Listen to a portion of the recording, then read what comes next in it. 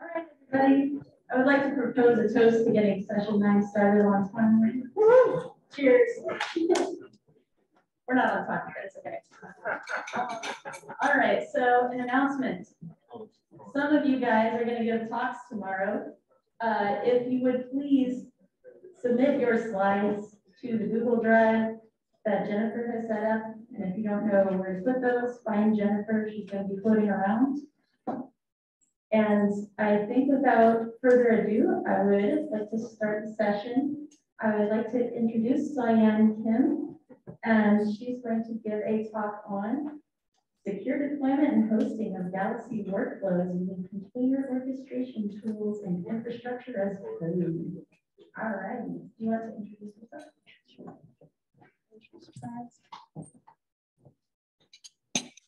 Video.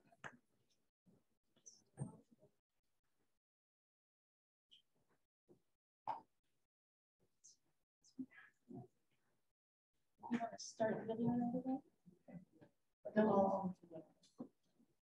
Hello, everyone.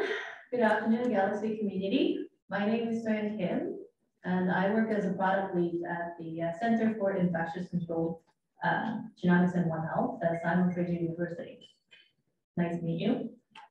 Um, I had a whole lot of uh, personal uh, struggle trying to make out here uh, leading up to this conference. I was diagnosed with uh, stage three cancer uh, while I was actually preparing for this presentation. So chemo and radiation and so on, it was no fun at all, but I'm uh, very glad uh, to be here and I'd like to thank the organizer for accommodating me.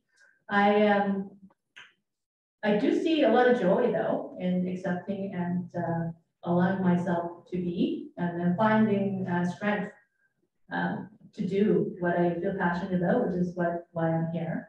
I have a DevOps topic uh, to speak to you about. I believe that as researchers developing tools, especially in healthcare, it's important for us to understand the production environment and the requirements uh, to be used in healthcare. So uh, due to my illness, I wasn't sure if I could make it today. So my uh, co-presenter and I put together a little recording. So my presentation is a joint uh, with uh, with the uh, solutions architect Reginald from AWS. It's a joint presentation. Unfortunately, he won't be here. Uh, he's stuck on a flight. Uh, but if there are questions that have come up, then I'll be sure to relay those and then get the questions answered for you. There's also a Slack channel as well. Um, lastly, I'd like to thank my 13-year-old son to help me prepare for this uh, recording through his magic of video editing. So, Pop, if you're watching this, thank you so much, and I love you. Um, without further ado, I'll uh, uh, play the recording and I'll do a little bit of a live Q&A at the end.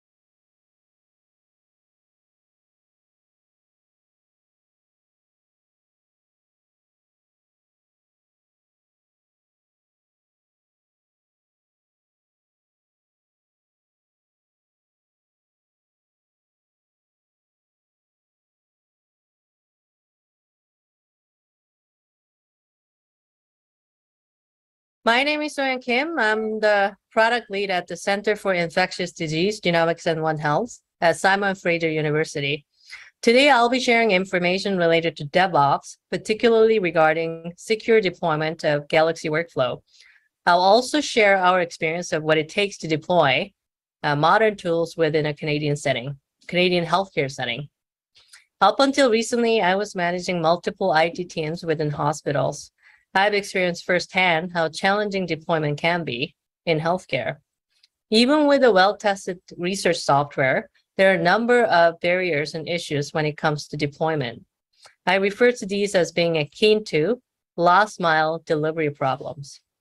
I'll disclose our story of working together with stakeholders to overcome these last mile problems for Galaxy deployment. My key message is about the primary importance of laying the groundwork for partnership in order to benefit from the multiple perspectives and requirements within public health organizations, as well as externally at partner organizations such as AWS. The perspectives of partners prevent extensive refactoring efforts and enable our team to get the job done right the first time. Our capacity and understanding as a research team increased as a direct result. On a personal note, I was diagnosed with cancer while I was preparing for this presentation, which only served to increase my belief in solutions available uh, through the open community of Galaxy, which can improve patient outcome, perhaps even mine. I'm delighted to be given an opportunity to connect with you today, and I'd like to thank the organizers for accommodating me. I'd like to acknowledge the folks I work with at the Center for Infectious Disease, Genomics and One Health um, at Simon Fraser University. We're primarily a bioinformatics lab. We provide end-to-end services, including sample preparation, sequencing, and analysis. We're a development shop uh, comprised of software engineer, microbiologist, and bioinformaticians. I would also like to acknowledge uh, Kenny, June, and Nolan uh,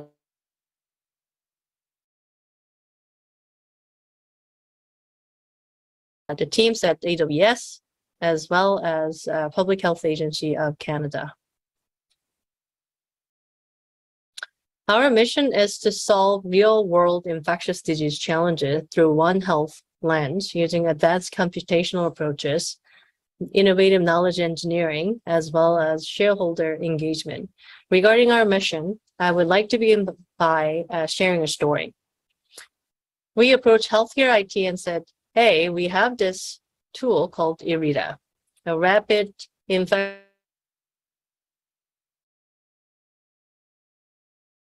public health genomics. What do you think? This is what they said. Was a comprehensive architecture review completed? Was the tool, how was the tool vetted and uh, tested? Was there a security threat assessment or privacy impact analysis? These refer to the uh, specific mechanism, uh, compliance mechanism uh, used in uh, BC, Canada. Is it compatible with cloud? In British Columbia, Regional Health Authority and Government Ministry offer pre-configured cloud environments. They have a heavily weighted uh, preference to host all new projects within that environment, especially big data project. They have an existing architecture which allows execution of a shared responsibility model between central IT and application owners, leveraging a number of cloud native services and controls. Who are you going to trust? It's all about lack of trust. Many have asked who built that tool? How many people in your team had access to the code? How big was your dev team? Also, who maintained the code base in the long run? We all understand that highly trained workforce can be transient given the market demands.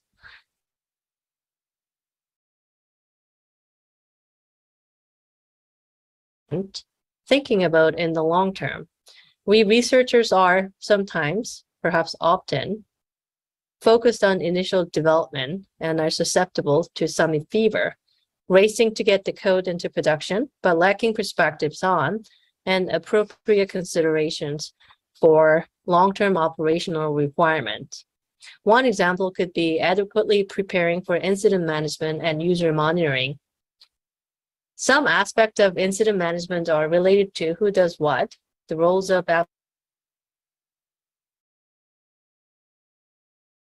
the tool itself, such as system health monitoring. Another example is infrastructure as code. Infrastructure as code not only guarantees reproducibility, but also in the case of a cyber incident, infrastructure as code provides the ability to treat the incident within the virtual blast radius, a critical advantage. The question remains, can we embed best practices and long-term operational considerations as part of our development process in order to promote ease of use for public health organization? After receiving feedback from partners and other stakeholders, our team came up with a game plan. This is a high-level summary of our process flow to de-risk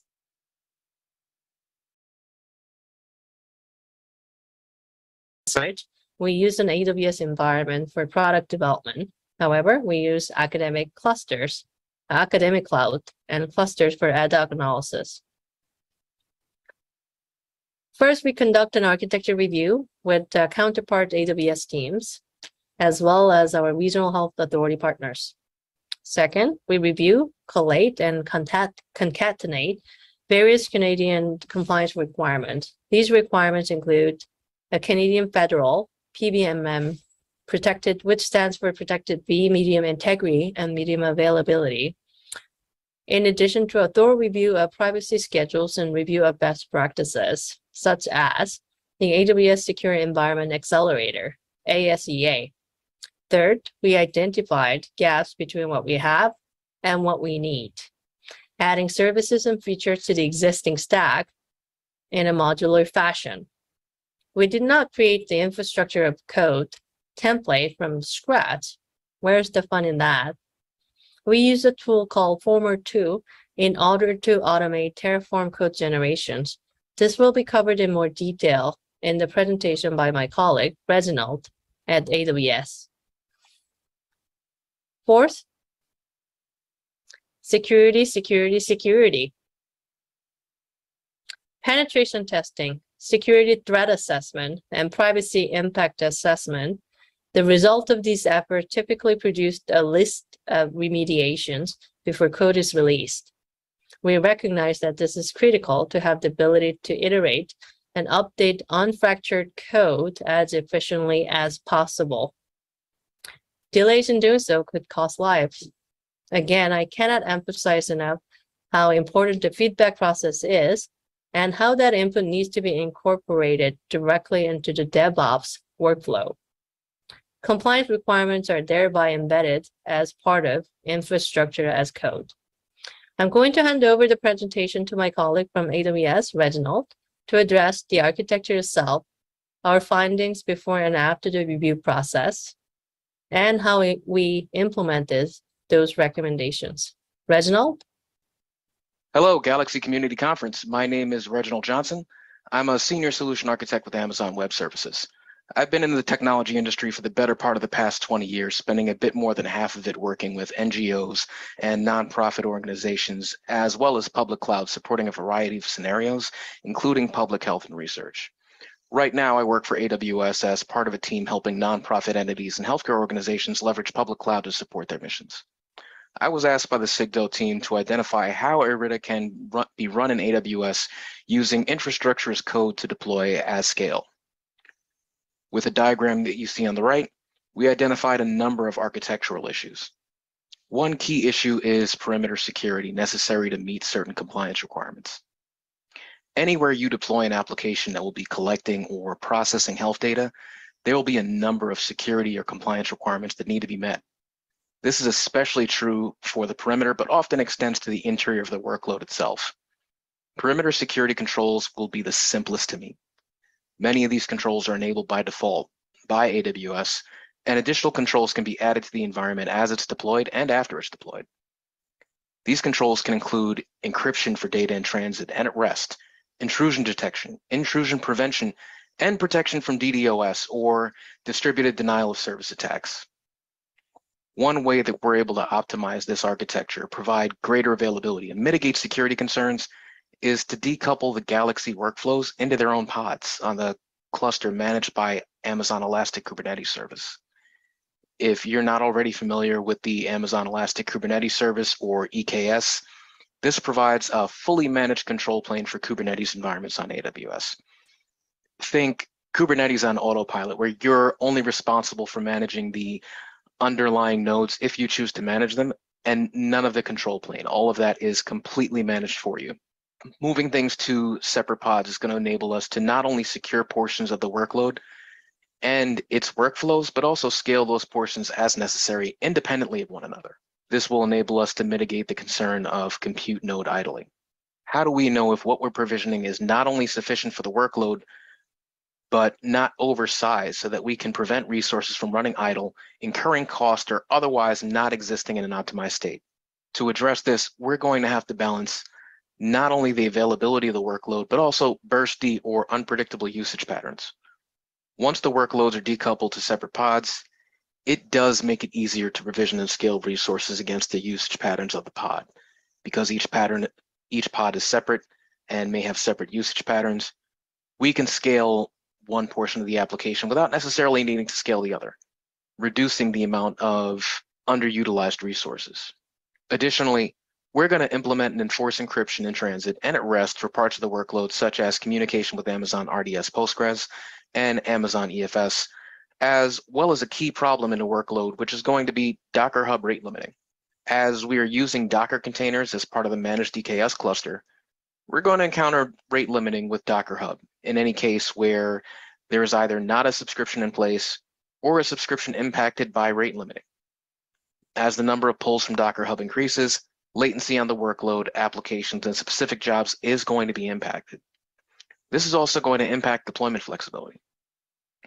Now, as we look at the refactor architecture, we're going to see a number of things that changed for this particular deployment. The first thing we mitigated would be the further decoupling of the Galaxy workflows into separate pods in EKS. From this perspective, the pods are separated for IRIDA, Galaxy, and biocontainers. Again, this is going to allow us to scale each part of the workload independently of each other and handle compute node idling problem. Each pod can be provisioned with the underlying compute capacity it requires, allowing us to mix and apply both persistent compute on Amazon EC2 and serverless compute using AWS Fargate where necessary without over provisioning resources anywhere. For encryption in transit and at rest, we're able to leverage AWS Key Management Service or KMS to manage not only the security keys for at-rest disk encryption and object encryption, but also manage the TLS certificates that would be used for encryption in transit.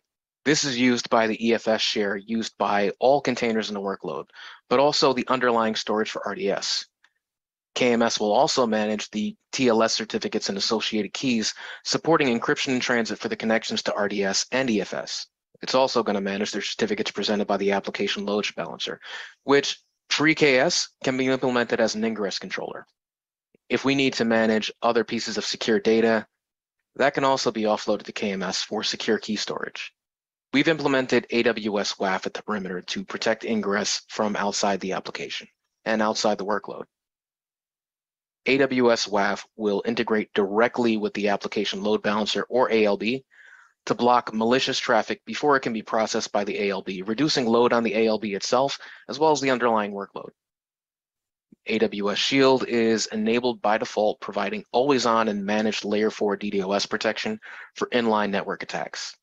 With AWS WAF and AWS Shield both enabled and configured, the workload is going to be protected from layer 4 network attacks as well as layer 7 application side attacks. Now, onto the Docker Hub rate limiting problem. We're able to address this concern using Amazon Elastic Container Repository, or ECR. ECR is a managed container repository service with a feature known as pull-through cache. This will allow ECR to cache a copy of Docker images held in a third-party repository, accelerating your ability to deploy them in EKS. ECR will also check the source repository for updates and cache those as well, keeping both its cache and your application and workload up to date on every pull. Now, With Docker Hub, you're going to experience rate limiting on the first pull and every subsequent pull. When pulling from ECR, the rate limit you would otherwise experience when scaling your pods no longer applies. That said, there will be a number of next steps that we have to look at in terms of this architecture. A lot of these are going to come down to how you reuse this architecture, manage your workload, and what direction you choose. A primary concern is going to be the sizing of persistent compute. This comes down to your specific workload and how busy it may be. When you deploy these workloads, you may need some persistent compute that is going to impact the availability of various parts of the workload. For anything control plane that doesn't need to scale, you may choose persistent compute to maintain availability and use serverless elsewhere for more ephemeral parts of the workload. What you choose will impact your spin up time and your availability. Larger resources may require more time to spin up, and that will vary based on your usage patterns and how consistent they are. Another concern will be moving to object storage for data and execution. Right now, as designed, the Galaxy workflow will require using local or network attached storage such as EFS. Using Amazon S3 for object storage will allow you to reduce cost per gigabyte and scale as necessary for working set data during execution. But this is going to require some changes to Galaxy in order to enable that. Another item to address would be replication within and across regions. How available or fault tolerant does your workload need to be? This is going to be inherently supported by EFS, RDS, S3, and EKS. How you choose to implement is going to vary based on your requirements and your need for disaster recovery. Increasing availability for EFS and RDS can be done in a matter of minutes simply by enabling multi-AZ on RDS. For EFS, multi-AZ is enabled by default, and the same for the EKS control plane. However, you define the availability of your pods and the underlying worker nodes.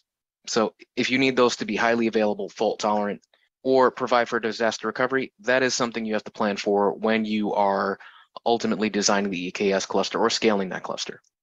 You ultimately define how you want your workload to be replicated. Implementing this architecture in EKS is going to allow the components of the workload itself to be incredibly portable. You have the ability to replicate RDS across availability zones and across regions, as well as the EFS share and ECR repository used, whether that is using the replication features of the platform or simply using AWS backup to back up a copy of your data and then restore it to another region. Spinning up a new EKS cluster in another region can then be done in a matter of minutes. Now, how portable is this? AWS provides a feature to EKS called EKS Anywhere, which allows you to deploy an EKS cluster using any hardware and environment you choose. So if you have a requirement to use hardware on-premise or a private cloud environment, you have the ability to deploy an EKS cluster, connect it to AWS, and maintain a consistent control plane across your deployments. And any AWS service needed by the cluster can easily be consumed over VPN, allowing you to use the same features available to you if the cluster were running in AWS. Finally, we have to review local compliance requirements for security and privacy. There are ever-changing requirements for security, privacy, and various guardrails that would need to be applied to this or many other architectures. Through this review, we were able to apply a common set of controls. As the number or set of controls increases or is otherwise modified, we will be able to implement the additional controls at the perimeter, as well as the interior of the workload and its subsequent applications. This is a key benefit of infrastructure as code. Everything in this deployment has been distilled to a template that can be easily redeployed in any AWS availability zone or region. As new requirements are added, we can enable those requirements either by updating the infrastructure's code and redeploying or making the change imperatively via the console. You're going to make these changes. Time is going to pass. How do we integrate changes to the infrastructure's code template as time goes on and maintain things like version control, consistency, or simple auditing? How do we maintain the ability to redeploy? If you're not familiar with updating the infrastructure as code template, encounter difficulties doing so, or need some help, there are a few options. There are tools such as Former2 that will allow you to ingest your existing deployment and output a template. That template can easily be redeployed using CloudFormation. It can be redeployed using Terraform. Comparing this new template to your previous one is as simple as doing a diff in your tool of choice. If you're using Git, you'll be able to see the changes as soon as you commit or push and revert accordingly. Now, what Former2 is. Former2 is an open source and freely available tool allowing you to ingest the components of your existing environment and export to a template that you can use to redeploy or modify as needed. What Former2 is not, it is not going to grab the details from your non-AWS environments. It is not a part of your CI/CD pipeline, and it is not going to generate Kubernetes Helm charts for you. It is a tool to help you map your existing architecture and easily redeploy to AWS using CloudFormation, using Terraform, or using your tool of choice. This is going to enable you to build a practice around capacity building. So? This collaborative exercise led to capacity building and investment in our own informatics infrastructure. For example, we're streamlining our CI/CD pipeline to de-risk last mile problems and to increase our ability as a development shop to iterate quickly for real world deployment in healthcare. I'm sharing two different architectures we're working on, one with the GitHub action together with infrastructure as code, such as Terraform and CloudFormation. The other one is using code pipeline in AWS. If you're a development shop or bioinformatics lab like us, these items should especially resonate. Our informatics infrastructure reflects the reality of working with multiple partners and environment, as well as security and uh, privacy best practices. I'm highlighting some of the key areas such as working with multi-cloud environment, partnership, and role separations as part of security best practices. With that, I like to close our presentation and open up for questions. The source code is publicly available in the following link. I encourage people to reach out and connect. You can find my contact information in this slide. Thank you.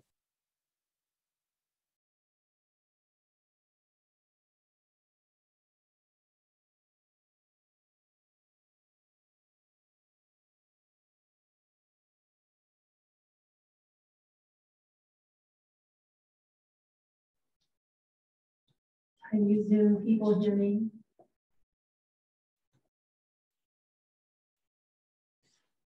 Testing, testing, testing, testing. Awesome. Okay, I don't think we have time for questions. I'm gonna kind of steamroll through, but I think everyone here can join me in uh, just the amount of respect for you coming here after that diagnosis. is so devastating. Let's just give a round of applause.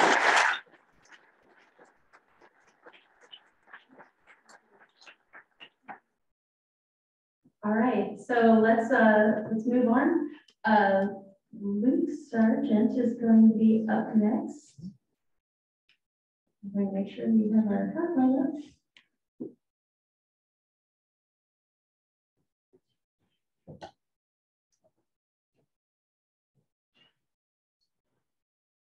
I swear, after like two years of using Zoom, you think we don't need experts at this thing.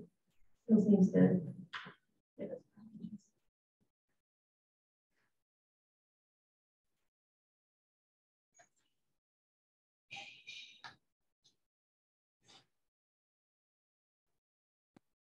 problems. Okay, Zoom people, can you see this presentation? Awesome. All right, Luke Sargent's going to talk about scaling Galaxy on the cloud, particularly data local cancer analytics on ONS. Go for it. Hello.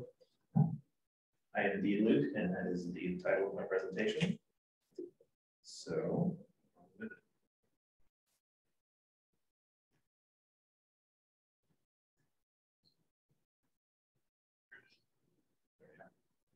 Uh, so our lab does multiplex tissue imaging analysis in Galaxy. Uh, what you see on the right is not a bloody Technicolor seahorse, but is actually viable uh, scientific data. And if you want more infor uh, information on that, I suggest you go to the talk on Wednesday, the Galaxy platform for multiplex tissue imaging analysis in cancer research and translation that uh, Cameron is going to give because he will get into the nitty gritty. I'm going to focus more on the infrastructural gist, which is that uh, we have a set of workflows that have these containerized tools that operate on fairly large data that's fairly computational intensive. So uh, we have some constraints we have to deal with, as do we all, in that uh, the key data sets live on AWS and these requester pays buckets, uh, and it's compute storage intensive to analyze them. Uh, and accessibility is also important for collaboration with external folks. And none of this is free.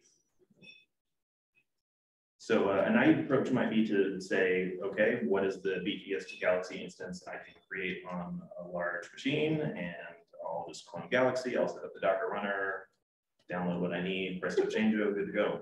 Except uh, you're sort of constrained by the most demanding tool that you have. So you're going to have this monolith that runs at your uh, those high specs and you're going to be incurring this cost for something that might be sort of streaky. And then what happens if you run multiple invocations of this tool? So you're enthralled to the most that you're willing to support at one time, uh, i.e. no scalability. Uh, you can use infrastructural resources like HPC, uh, and we indeed do that. However, one of the downsides of that is that it's less accessible to external collaborators. So, uh, and you don't have quite as much control over what you're deploying. You have the limits that you have to work within. And so it's often cheaper or free to the lab to use, but comes with those downsides and is subject to uh, congestion or what have you. So we decided to go to a, a, data local approach and go all in with AWS to compute around the buckets of stuff. And so it's obviously scalable. That's sort of their shtick, the whole cloud thing. You can throw as much resource as you want at something. Um, it's as accessible as you want to make it. It's uh, much more customizable than say the restrictions that your local institution might impose on your computational resources. And critically, the intra cloud transfer is free, and that's pretty good. The rest of it's not, of course, and, that's a bummer. And there were not job runners available initially for the services that we wanted to target, namely batch and ECS. So at a high level, this is uh, the architectural details. I've included a glossary to the right that I'm not going to read because as much as everyone loves acronyms, I think we get enough of them in our life, but for those who want to look at it offline, how about it? But uh, we have a, a, head node that runs Galaxy and whatever associated services, the IT proxy and et cetera. Uh, and key to all of this is the EFS drive, the Elastic File System drive that is a, a network file system that can be shared across various computational resources. So we send jobs on demand to either EC2 or Fargate, depending uh, so Fargate, the serverless container runtime gets little baby jobs, and the beefier jobs go to EC2. And those containerized tools. Uh, so that's sort of similar to some of the Galaxy Kubernetes setups that some might be familiar with. So like uh, AnVIL also uses a shared network file system. Uh, and this is a visual representation of the architecture. So in the cloudy box is AWS at large, and then we operate in a single subnet, so we don't replicate across uh, stuff to save on costs. We have our Galaxy instance on the bottom left within EC2, running on a, a constant dedicated VM.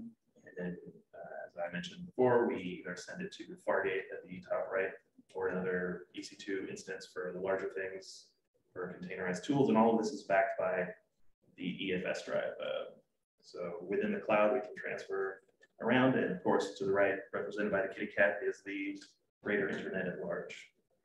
So we can pull data from the internet, and that's free. We can pull data from the buckets, and that's free. And it's about the end of freebies. Uh, we submit jobs to Fargate or EC2, as I mentioned, via the runners that we created and just create a template and submit it via Boto 3. I don't know uh, and backing it all is the EFS drive. So we have this EFS drive that is mounted into any critical place. And so file changes in one are reproduced in others. We'll look at the glass half full component of cost. The inter-cloud transfer is free, that's good. Ingress is free. We like that. You get a free freebie, you know, some other small things like a freebie Elastic IP or the static IP for your domain name, some ephemeral storage should you need it for your Fargate instances, and 100 gigabytes of transfer out, which is not nothing.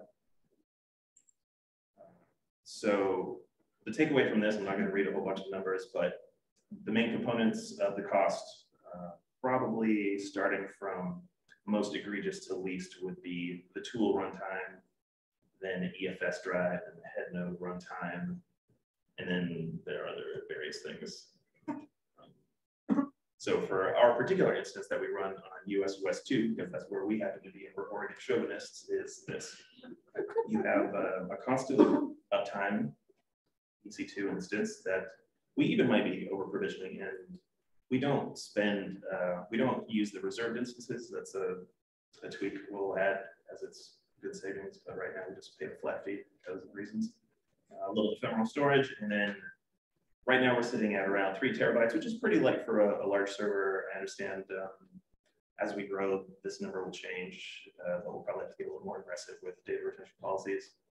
Uh, and key to this figure, if you're dealing with uh, EFS costs, is the ratio of hot to cold storage. So you have um, cheaper storage that's slower, and so you move from one to the other, and the price that they cite is like one to four, but we find in practice that most of the data just sort of sits there and actively worked on things are um, somewhat rarish, so we get like a closer to one to eight ratio.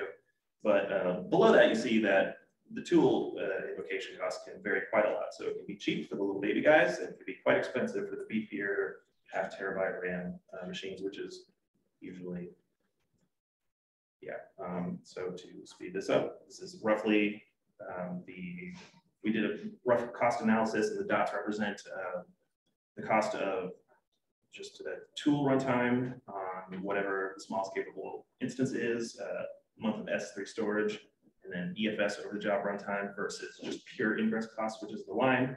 And by and large, minus that one person uh, outlier, seems to be more or less worth it. Uh, in the future, we will use spot instance more. That's something we're just starting to roll out, dynamic estimations to make sure that we are more closely tailored to the resource requirements of each individual tool instead of over provisioning, which is a big cost to sync. That reserved head node for data looks cool, but that's a question mark. I don't understand super well. And um, integration with external data commons so that you can utilize your permissions, and whatever you have access to. You can look at it by actually going to cancer.usegalaxy.org. Um, try not to be too malicious if you don't mind, but have a look see. Uh, we have a runner that is being worked on to be added into the Galaxy proper. Um, and that requires a little bit of infrastructural setup as it won't just work purely out of the box, but we have Ansible roles into development for that. These are the people I worked with. This is where it happened in the presentation.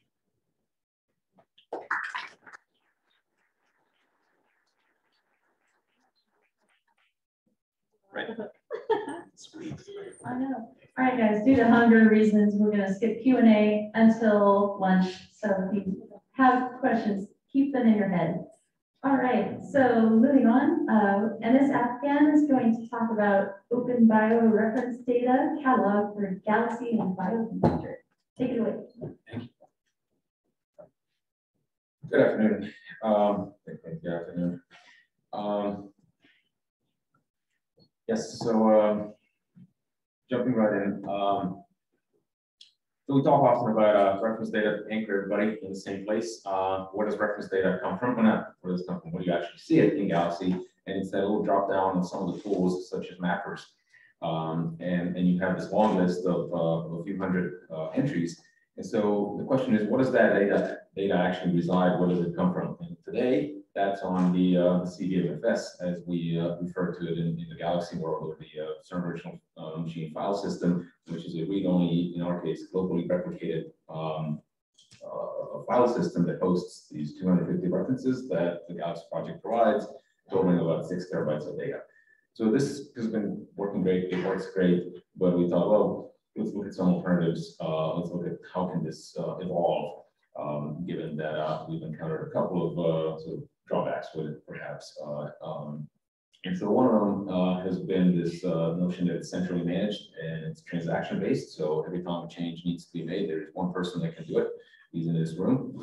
Um, and so that made the community contributions uh, kind of challenging.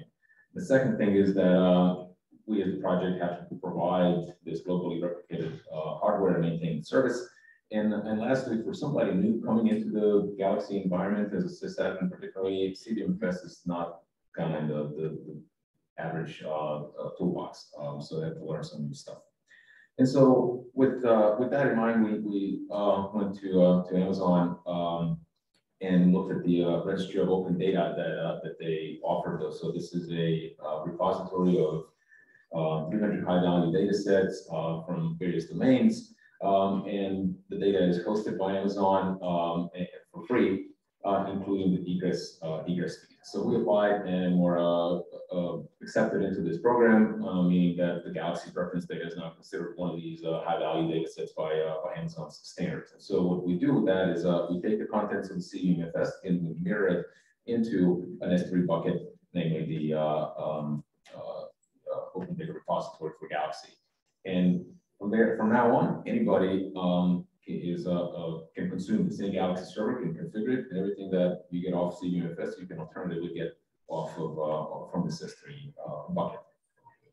And so, like I said, we, we kind of encountered some of these challenges with the CVMFS only solution. So um, um, this isn't an, an, uh, another resource, it's a mirror of resource uh, with the intent of solving uh, these three different topics that I'm going to go into uh, in turn. So first one is this uh, notion of repository expansion, right? We've been talking about the uh, uh, community contributions to Galaxy's reference data repository for years. Um, and, and this is something that hopefully helps. So S3 is a common tool in many sysadmins toolboxes. And so it lowers that bar, uh, contribution bar, because you upload a file to a bucket and, and it's there consumable, uh, you know, in addition to being configured with Galaxy. And uh, but, but what really also helps is that it opens possibilities where you can consume the public data that the project offers along with additional data that exists in other buckets. Because once Galaxy is able to consume data from a bucket, um, it, it, can consume data from any number of, uh, buckets. This also works for private data uh, that uh, an institution may want to um, may want to offer. Secondly, um, it doesn't have to be only Galaxy's reference data that is housed in this uh, repository. Uh, it include other things other than map indices, that, which is what we've done uh, a lot of times. We include annotation files, uh, of in similar domain, uh, but it can also include uh, data from other projects. So Bioconductor, um, a project that offers packages and, and, data for the R environment, joined us in, in this project, and they have deposited compiled R software and libraries, um, totaling about seven terabytes of data at, at, at this point. And so from an R session, you can install this uh, annotation hub package, for example, and browse the annotation hub data, um, and which comes from AWS, even though uh, as a user, you don't really even see it, you just benefit from some of the, the scalability uh, uh advantages that S3 offers. And I'll mention that in Galaxy Context in a second. Uh, the second thing is this uh, kind of increasing the accessibility of the file system, uh, of, the repository and data that, that goes within it. So uh, we registered this domain openbiorefdata.org. You can go to, and, and it's a client-based um, um, um, browser that, that allows you to browse uh, data that's in this repository. So again, uh, at this point, it, it houses some data for Galaxy, some data for Bioconductor, so you can see what's there. You can just download it or at least see what's, what's available. Um, and, and the last thing is uh, you know, relying on S3's um, scalability. So we've done some benchmarking um, and, and, just to see how, uh, uh, how the jobs perform. So uh, we set up two Galaxy instances, one, uh, both on, on the Google Cloud Platform. One was CVMFS based installation, one was S3 uh, backed installation for indices. Uh, the jobs, granted, ran only about five minutes or so, but uh, uh, the even though so this data is actually posted in in uh, Pacific, whatever in, in Sydney, um, and we still saw noticeable benefit in, in fetching data from um, from S3 as opposed to uh, from our uh, hosted CVMFS, which means there's no water uh, bandwidth, and ultimately we have no storage infrastructure to maintain uh, as a project. And, and in principle, we can also globally replicate. And so, um, kind of in summary, I guess uh, the idea behind this project is to explore an evolution of how Galaxy reference data uh, can be provided to the broader community.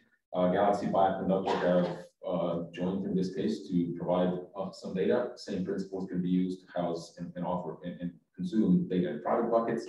Um, data is available today. You just need an S3FS client. You can hook it uh, to a Galaxy instance. You can also use common commands like wget and curl uh, to fetch individual files. Um, and, and there are downstream applications. So today you can do this from RStudio. Uh, and in the future, maybe you can add uh, you know, other APIs for other workflow engines. And uh, with that, I'd just like to thank uh, the people that uh, I worked with on this project closely and uh, the, uh, the organizations that made it possible. So thank you.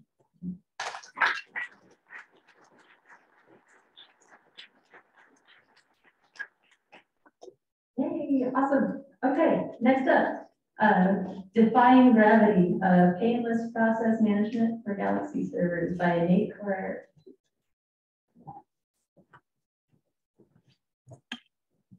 Okay, thank you.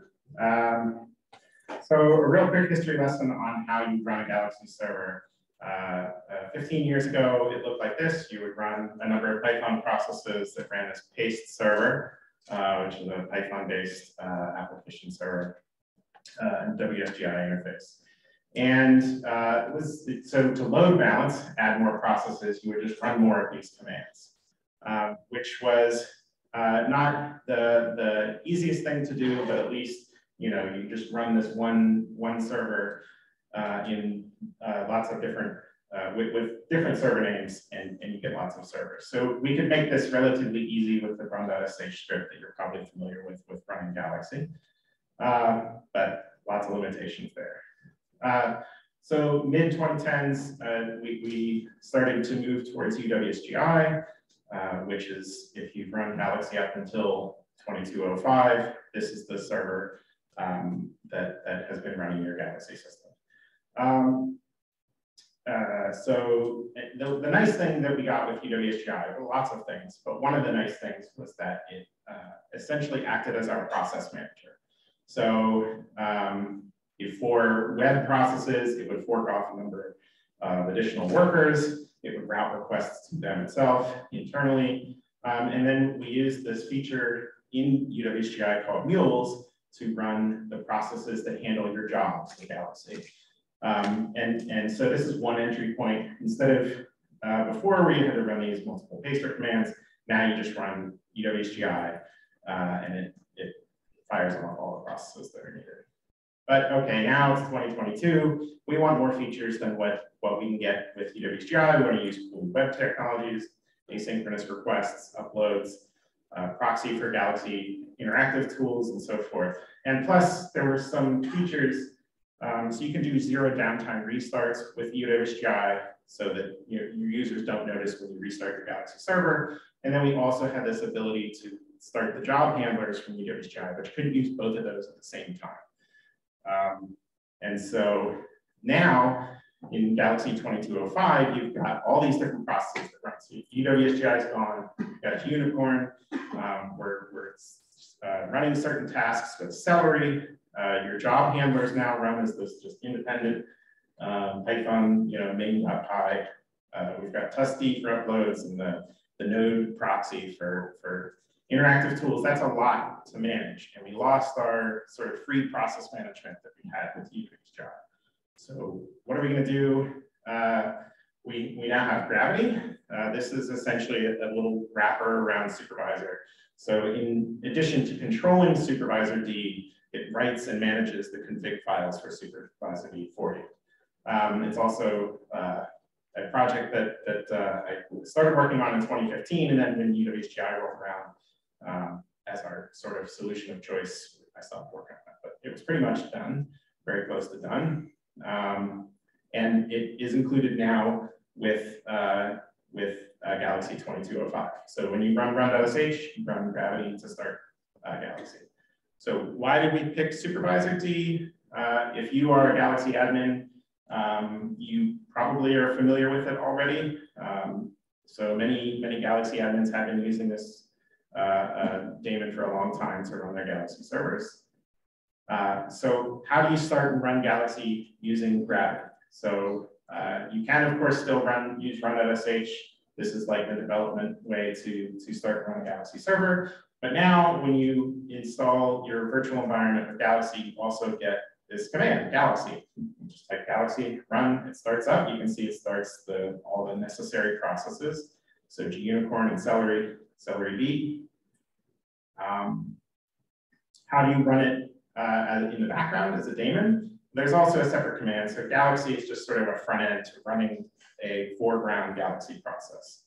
But there's this uh, bigger utility called Galaxy Control um, familiar uh, to people who have used Supervisor in the past. You can see that there's a Galaxy Control start. This starts the processes and then detaches. Um, tells you where the log files are, so you can go look at all of the logs of the processes as they run.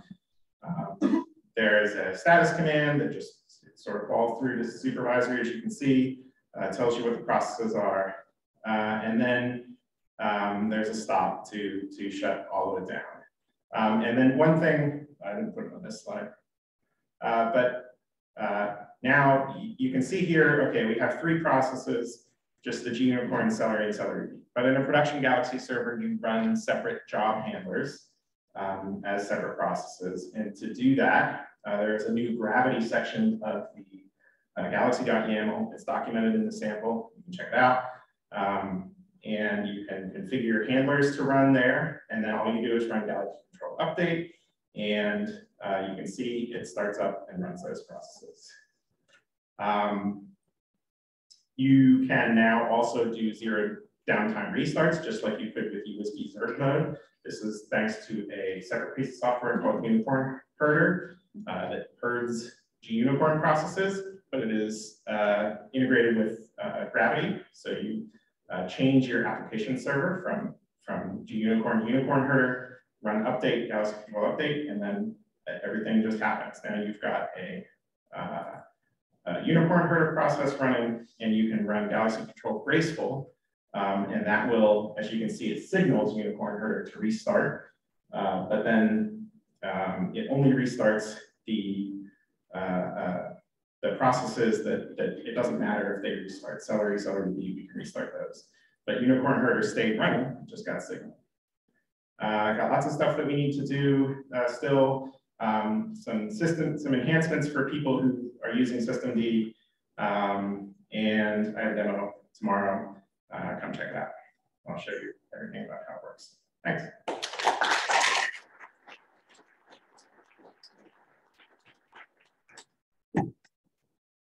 All right, moving on. Uh, Nuwan Goonasekera and uh, Catherine Bromhead are going to introduce meta scheduling Galaxy jobs with total perspective vortex.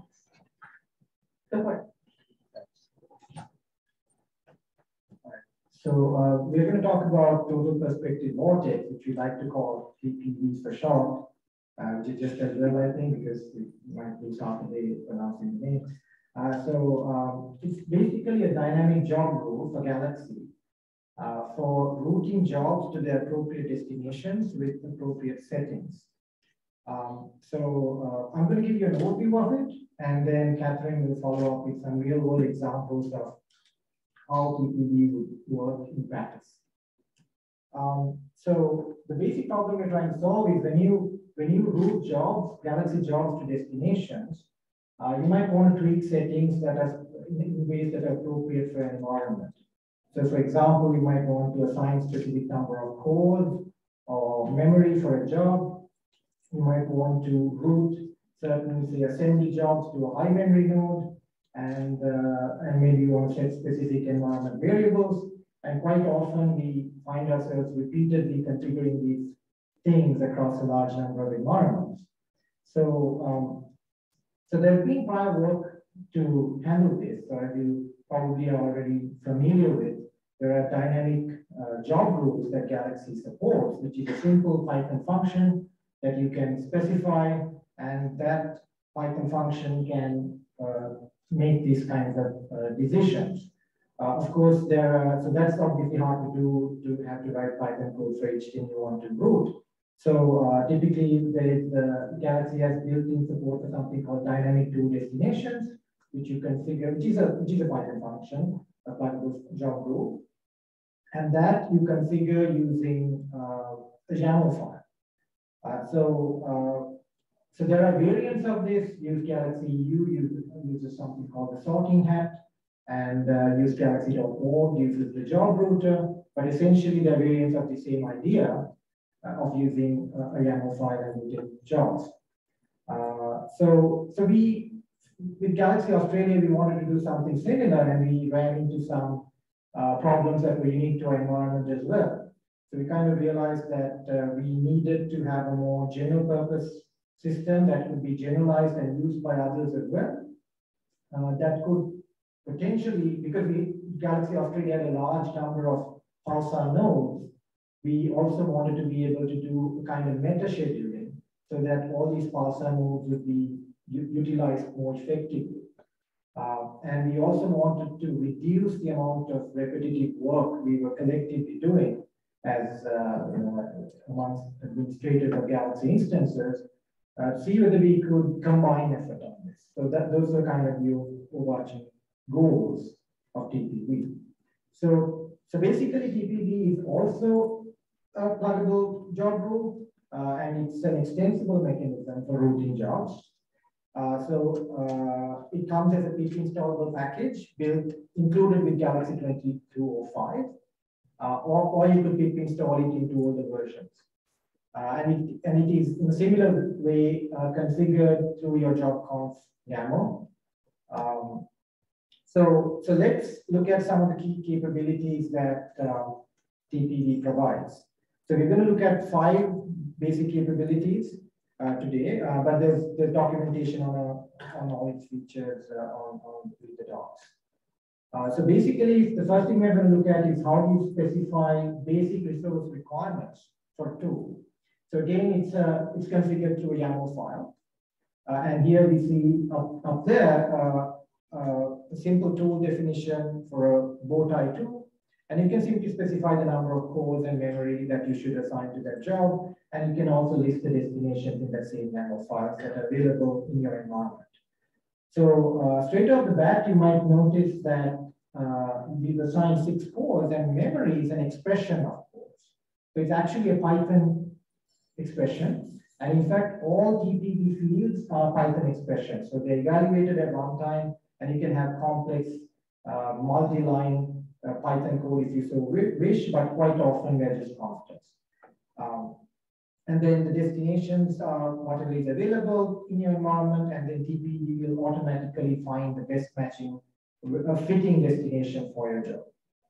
So that's that's the basic thing. So next, uh, what, what, if you had more complex routing requirements, like you want to send high mail jobs to a high memory node and so on. So the way TPV allows this is through tags. So you, it matches up tags on your on your tools and your destinations, and you can you can express preference or aversion to particular destinations through this tagging system.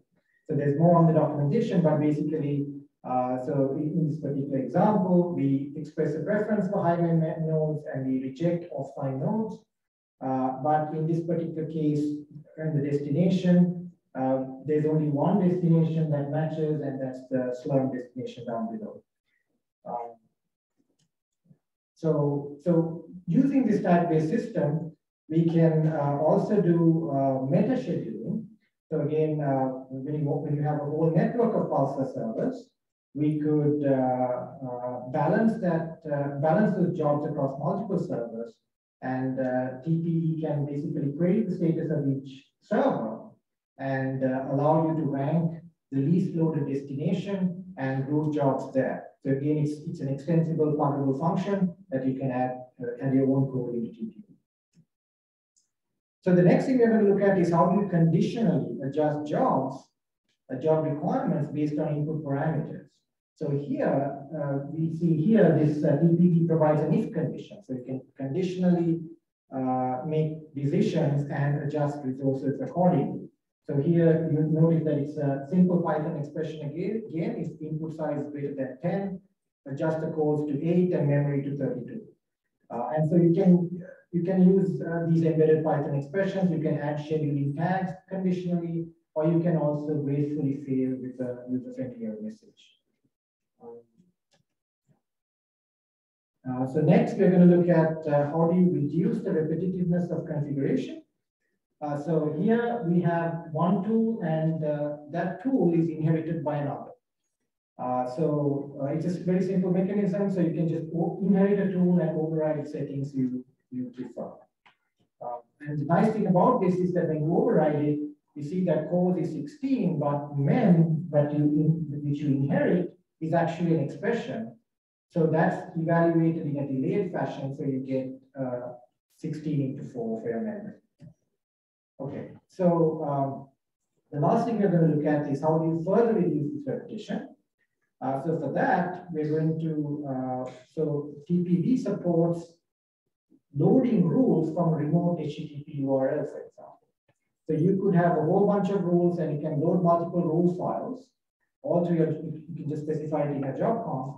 And uh, the advantage here is that you could potentially centralize all these rules and share them amongst the community so that we don't all have to rediscover these, okay, how many cores should you use for a HISAT job or how much memory should you assign for it.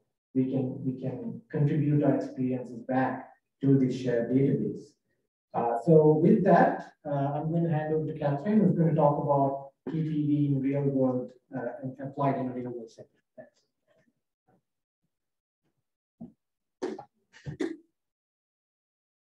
So um, Simon and Nuwan started developing the Total Perspective Vortex mid last year, and we deployed it on Galaxy Australia in November. And so the biggest change is that instead of mapping a tool to an individual destination, we are mapping a tool to a set of destination characteristics. And for each tool, we now have more destinations where the tool is allowed to run and this is a much better utilization of our resources. It's led to lower queue times and far less admin overhead. Uh, this is a graph of the load on two of our pulsar nodes over 24 hour periods, one week apart. The first one is before the TPV was deployed, and the second one is after. And because the TPV is using feedback um, from um, the uh, load of the pulsars, the second graph, the loads track together fairly well. So um, the TPV is preferentially scheduling jobs to nodes that are more available. And um, for the configuration, we have um, all of our tools in a YAML file, starting with the default tool. The default tool is what we've defined um, for all of the other tools to inherit their values from. So the default tool runs with one core. Its mem is an expression. Uh, it's four times the number of cores in gigabytes. And because all of our jobs are running on Slurm, we've defined a native specification parameter, which is substituting values for cores, mem, and the Slurm partition, which we've defined to be main for the default tool, but this might be overridden for other tools. The only scheduling rule for the default tool is that it can't run on any destination that's marked as offline. So to set a destination to offline in this um, configuration, we have pulsar A and pulsar B. Pulsar B has been set to offline by just adding the offline tag. And the configuration changes take effect immediately. If you need to take a node down for maintenance, you can just set it, set it to offline and jobs will no longer be scheduled there. Um, Another tool example is Picard. We've defined a rule that matches all of the tool wrappers in the Picard repository. So that's about 30 wrappers. And in this case, we don't need to explicitly set the mem value because that's inherited from the default tool. So the mem is just the number of cores times four. We can also put an environment variable in here that's using the mem value. Another example is AlphaFold. Um, in this case, we've explicitly set the MEM to be 160. gig. This also uses a GPU. It's running in a Docker container and we can set the Docker parameters for the tool.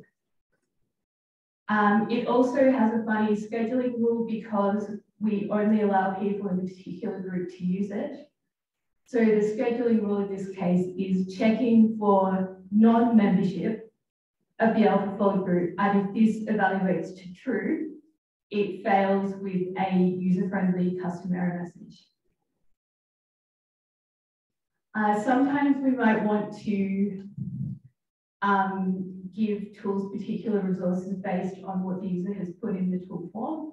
So for example, k-mer abundance distribution, um, the user has selected large animal genome as the sample type.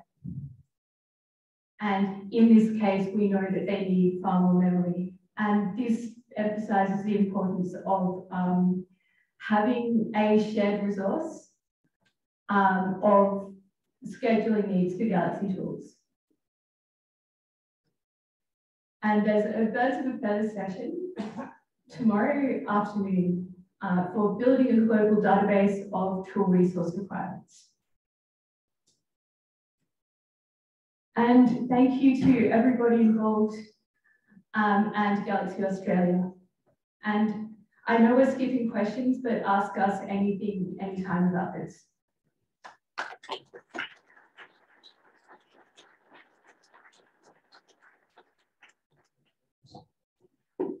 Great job.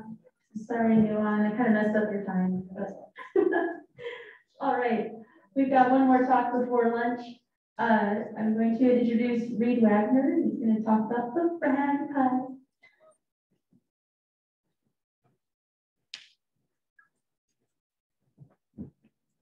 Hi. Um, yeah, for some reason the, the name FragPipe is very popular. People always but okay, I'll take us home. Um, so before I start, um, I just want to uh, give a special acknowledgement to JJ because he's actually done the bulk of the implementation. Um, and so I think he said he'd buy me two beers if I uh, presented. So um, yeah, so I'm presenting on it. Uh, but yeah, I'll be talking about our implementation of a wrapper for uh, FragPipe. Uh, so FragPipe um, is an orchestrated software suite for spec, uh, spectrometry mass spec based uh, proteomics analysis. Um, and so it incorporates like a whole host of uh, software, as you can see, but the main uh, powering tool is MSFragger, which uh, is a proteomic search tool. And it was actually, I think, presented on in depth uh, at last year's GCC. Um, so it's maintained by Alexei uh, Nesvizhskii's lab at the University of Michigan, and in particular, uh, Dr. Feng Chao uh, Yu, who's uh, attending GCC today. Um, and he'll be giving a talk uh, sort of in more in depth on FragPipe uh, tomorrow.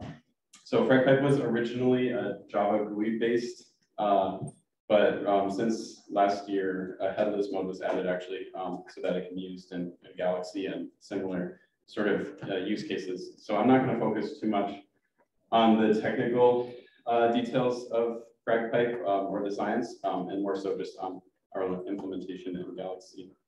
Um, so this is uh, this is FragPipe. Um, this is what it looks like. And I show it to sort of point out that it's highly configurable.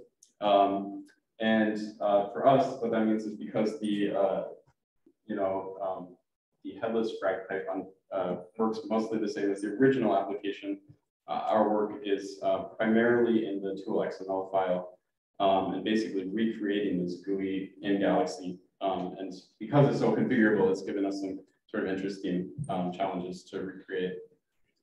Um, so this is what it uh, looks like now. Our work is basically converting from this to this. So the first uh, kind of feature I want to point out um, that was interesting uh, is one of the first inputs, which are the LCMS files.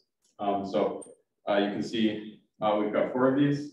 Um, and some FragPipe analyses, um, it's important to be able to group these files by the experiment that they came from. Um, so in this Java interface, um, there's a few different ways to do that. You can click into these columns uh, and sort of manually set it. There's a few options to sort of automatically set it.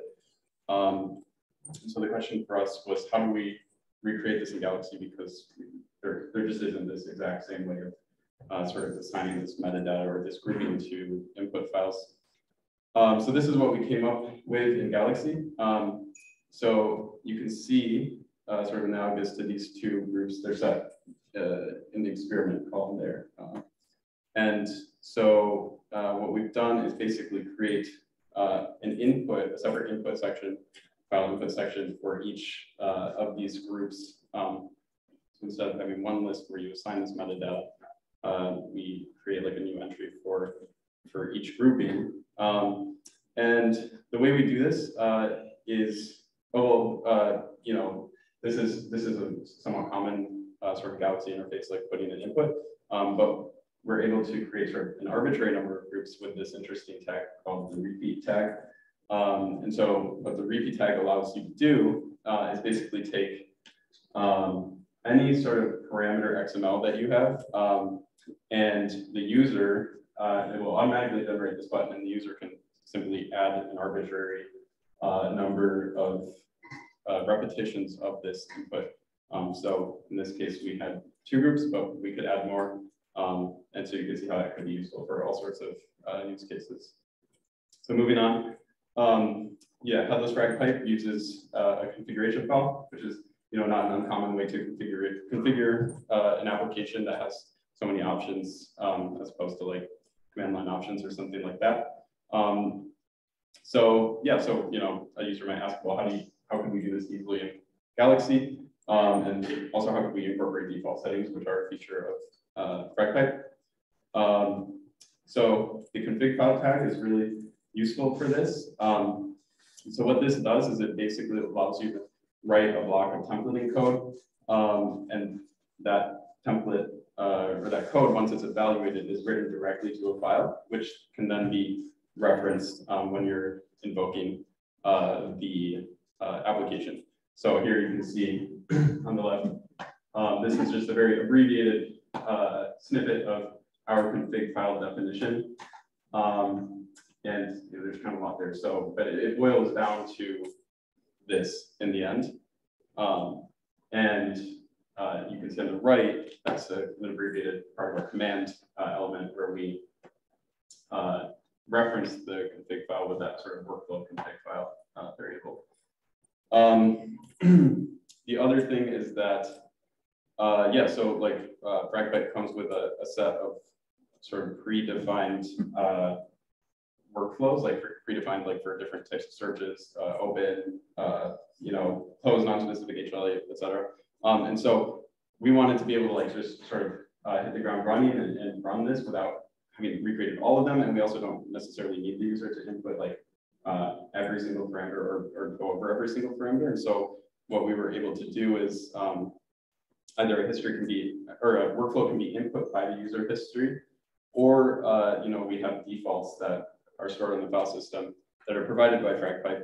And uh, in this code block, you can see that we actually, depending on whichever one, will read that in, and then we basically create a dictionary of all the options, and then in the rest of the tool XML file, when we're setting parameters, we use that same dictionary and we overwrite those values. Uh, and at the very end, we have a loop um, and we write out every single key value. Um, so uh, yeah, so, so that's how we kind of uh, tackle that problem. Um, we've got a lot of uh, work still to do on this, um, and we will be working on it a lot at CodeFest. So anyone who's interested, uh, please definitely uh, stop by. You can ask questions help us um, give us ideas. Uh, and we're also, uh, we've also implemented uh, bioconda recipes for um, MS Dragon FragPipe. So those are on GitHub as well if you want to check them out. Thanks.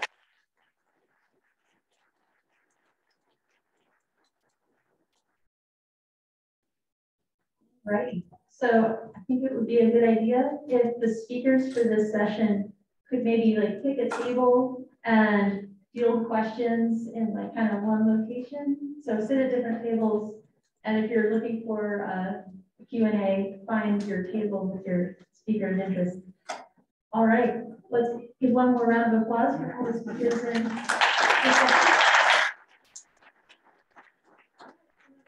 let's go eat. Bon appetit.